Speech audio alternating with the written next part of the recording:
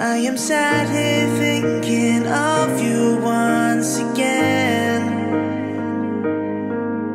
So